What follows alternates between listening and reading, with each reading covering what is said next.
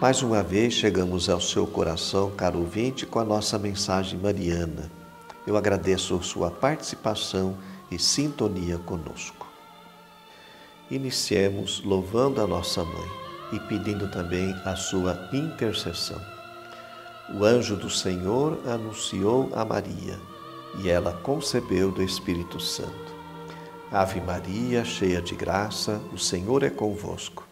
Bendita sois vós entre as mulheres, e bendito é o fruto do vosso ventre, Jesus. Santa Maria, Mãe de Deus, rogai por nós, pecadores, agora e na hora de nossa morte. Amém. Eis aqui a serva do Senhor, faça-se em mim segundo a vossa palavra. Ave Maria, cheia de graça, o Senhor é convosco. Bendita sois vós entre as mulheres, e bendito é o fruto do vosso ventre, Jesus. Santa Maria, Mãe de Deus, rogai por nós, pecadores, agora e na hora de nossa morte. Amém.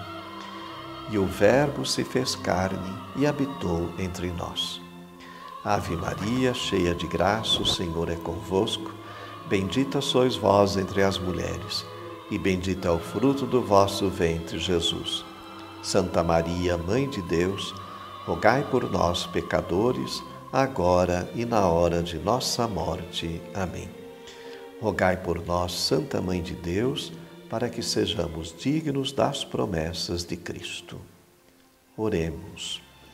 Infundi, Senhor, em nossos corações a vossa graça, para que, conhecendo pela anunciação do anjo a encarnação do vosso Filho, cheguemos também, por sua paixão e morte na cruz, à glória da ressurreição.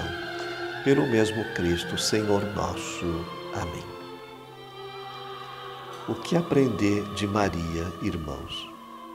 Aprender aquilo que ela fez, colocou Deus no centro da sua vida. De Deus Pai, Maria recebeu todo o amor. Foi a certeza desse amor que ajudou Maria a viver a sua consagração. Ela nos ensina a ter um temor filial a Deus e a oferecer a Ele o nosso ser.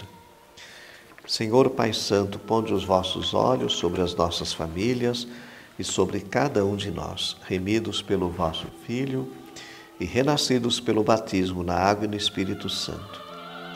Abençoai as nossas famílias, casas e objetos de piedade. Abençoai, Senhor, a água.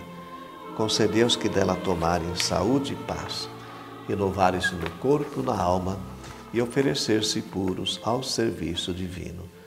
Que a bênção do Deus Todo-Poderoso, Ele que é Pai, Filho e Espírito Santo, desça sobre vós e permaneça para sempre. Amém. Louvado seja nosso Senhor Jesus Cristo, para sempre seja louvado.